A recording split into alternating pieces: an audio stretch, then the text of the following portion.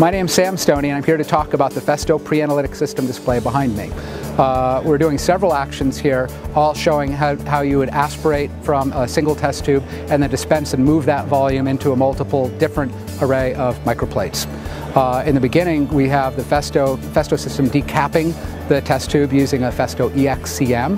Uh, going from there, we're aspirating with a third-party Tecan pipetter uh, and moving over to a conveyor belt, which is very common in a typical liquid handling system.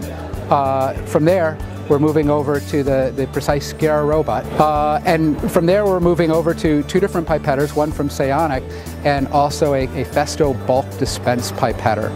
Uh, what we're showing here is that using a variety of standard Festo products, one can interface world-class, uh, class-leading uh, products that fit your applications exactly and Festo can provide the motions to bring everything together to a single system. And I think that about wraps it up. Thank you very much and we'll see you at SLAS next year.